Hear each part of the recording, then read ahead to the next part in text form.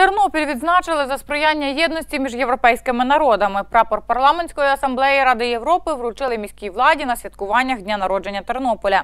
Як це відбувалося? Дивіться далі. Одним із головних етапів відзначення Дня міста 2014 було вручення прапора Ради Європи. У зв'язку з подіями на сході цьогорічні святкування мали в основному патріотичне, а не розважальне спрямування. Україна в стані війни. В стані війни тільки тому, що хоче відстояти свою державність і своє право самостійно визначати своє майбутнє.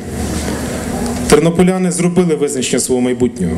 Тернополяни одними з першими вийшли на мітинги в підтримку Євромайдану Революції Гідності. До речі, це дуже символічно. Саме тут, саме на цьому місці, 22 листопада 2013 року тернопільська молодь, студенти і пластуни першими вийшли на мітинги в підтримку Євросоюзу з прапорами Євросоюзу і з гаслами Тернопіль і Україна це Європа. Сьогодні Україні, на жаль, не до децентралізації, не до розширення повноважень органів місцевого самоврядування, тому що органи місцевого самоврядування сьогодні в нашій державі займаються тим, що годують армію, що відправляють своїх синів на фронт захищати Україну і європейські цінності. І сьогодні, бачачи наших колег і побратимів тут, з країн Європи, ми черговий раз до вас звертаємося зайняти позицію, проукраїнську позицію у Європі і в світі. У свою чергу іноземні делегації висловили підтримку Україні та пообіцяли підкріпити свої слова реальною допомогою. Як не прикро, Рада Європи не мала можливості займатися питаннями захисту, як цього хотіли могутні європейці з моменту її створення в 1949 році. Сьогодні президентам Обамі, Путіну та керівництву НАТО слід визнати посередництво організації з питань захисту та співробітництва в Європі та покласти край якомога швидше цій страшній війні. Слід нагадати, що могутні президенти цього світу були вибрані для того, щоб забезпечити благополуччя свого народу. А війна це лише сумний провал політики.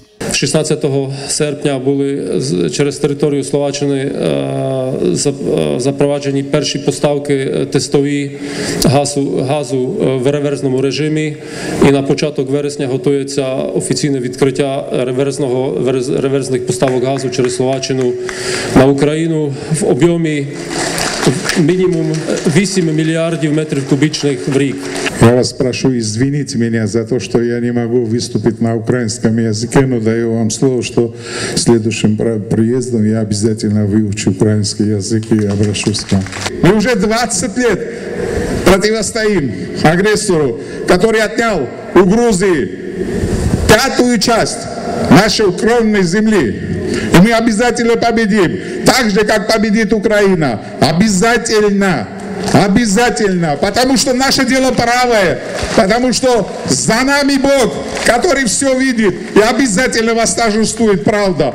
Будет синее небо и желтое солнце. Вот в этих цветах. Всегда будет на Украине. Нагородити Тернопіль прапором Ради Європи вирішили ще в квітні на засіданні комітету з питань соцполітики, охорони здоров'я і сталого розвитку парламентської асамблеї. Це є третя за величиною відзнака, яку вручають місцевим і регіональним органам влади за їх просування європейських цінностей.